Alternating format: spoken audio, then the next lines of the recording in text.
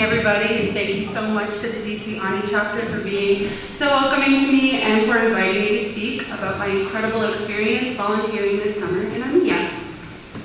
So I knew during the war last fall while I was in school that I was guaranteed 100% going to be spending my following summer in Armenia, finding any way that I could to volunteer. It was just a desperate need that I had within myself, even though I had never been before. And I started looking even in January for what programs were available for me to secure housing in Armenia and spend the entirety of the summer giving back and volunteering wherever I could.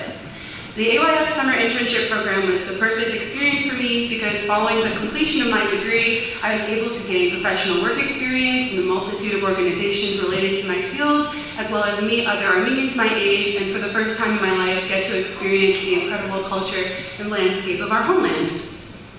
My initial placement was with the Women's Resource Center Yerevan, which is a small office in Yerevan that does incredible work that honestly I didn't even know existed.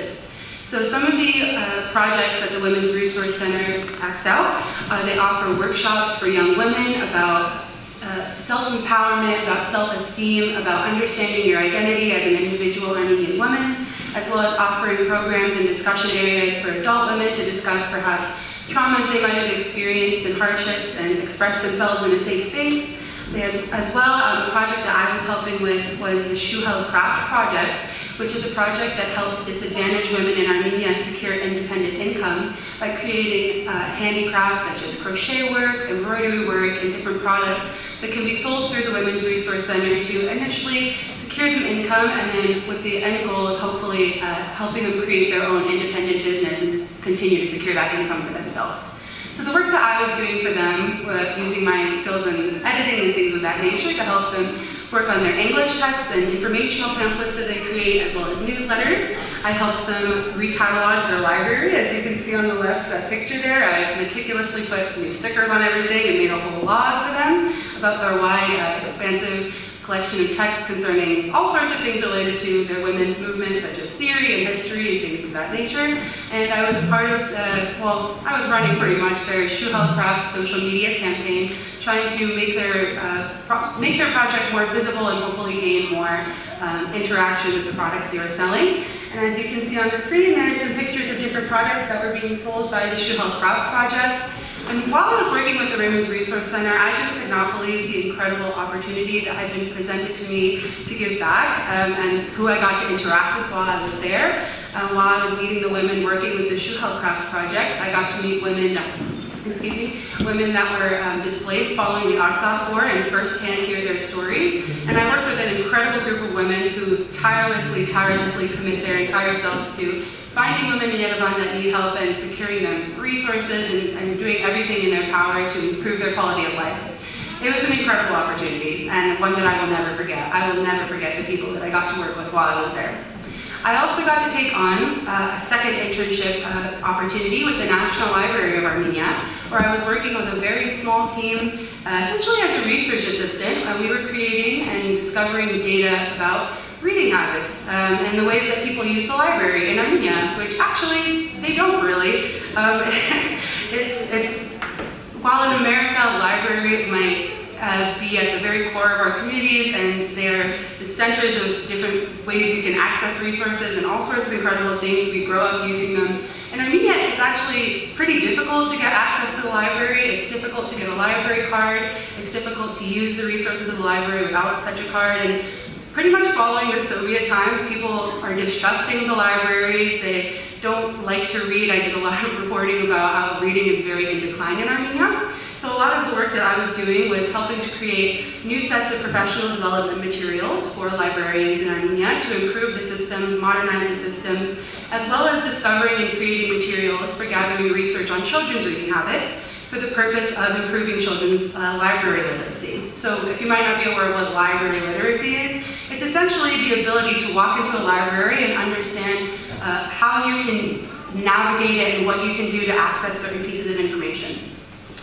Work that was incredibly close to my heart. It mattered very much to me because um, as we all kind of understand, it is, it is very, very vital that individuals are able to understand how to access information for themselves, self-educate. We always understand there's work that can be done for the education system in Armenia.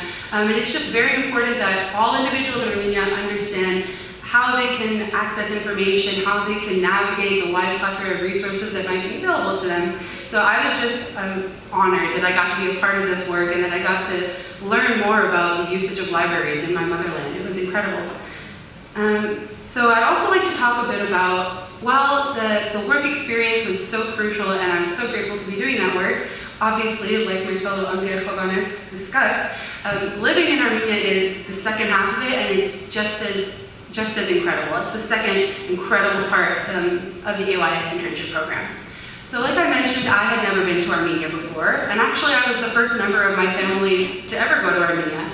Uh, and this experience changed my entire relationship to our motherland. Obviously, being Armenian in America has to be a choice. It's something that you have to put effort towards. And, and as we continue to have generations of Armenians born in America, second, third, fourth, I just think that it is so incredible that the AYF offers this program, and I think it is vital that we continue to create opportunities for our young people, or people of any age, to be able to go to Armenia, because it takes it from something that exists in concept and in culture, and turns it into an incredibly vivid, colorful reality.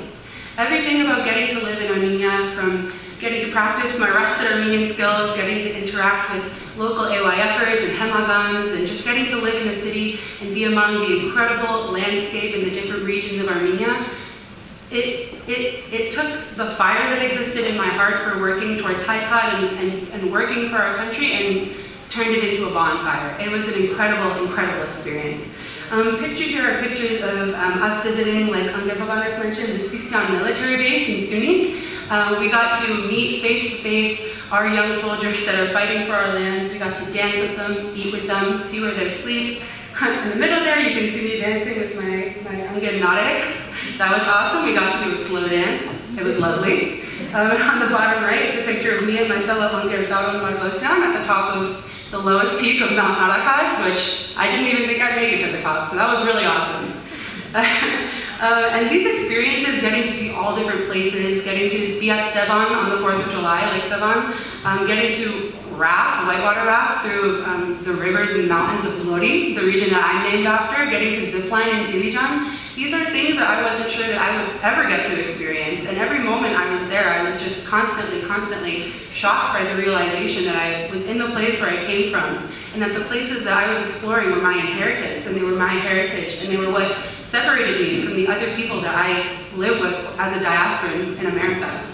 And it, it just, everybody, every young person that I've talked to since returning from Armenia, I beg them to find a volunteer opportunity, to sign up for the AYF internship program, to do what they can to get themselves to Armenia, because our skills as diaspora Americans, there is a place for them there. Anybody, regardless of if you speak Armenian, how well you speak Armenian, if you have family there, I personally don't, there is a place for our work to be done. There is something for you to do and they need our help. And realizing that I had a part to play in that was unbelievable. All I want to do now is go back. I hope I get to you as soon as possible, maybe next summer. That would be awesome. Um, overall though, I will never forget this experience. I wouldn't have traded it for anything and I was so grateful to get to be there the summer following the COVID-19 pandemic and of course following last fall's Artsakh War. It was unbelievable. And I'd like to end on this message. It is um, a message that is inscribed on one of the walls at the Sisyan military base. Uh, I'm going to recite it, forgive me for any potential mispronunciations, my reading skills aren't flawless. Um, but Jogovortan Arans Hayranasevutyan Norina Inch Marumin Arans Cooking, which essentially translates into those without a passion for Armenia in their heart are like a body without a soul, which I'm sure we can all